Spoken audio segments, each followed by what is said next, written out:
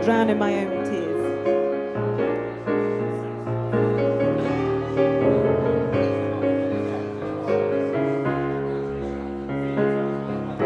It brings a tear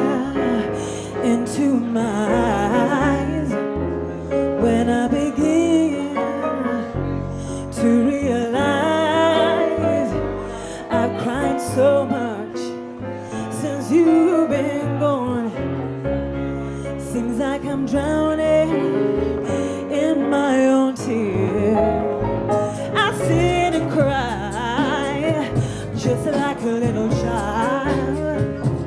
My pouring tears are running wild. If you don't think you'll be hurt. Oh,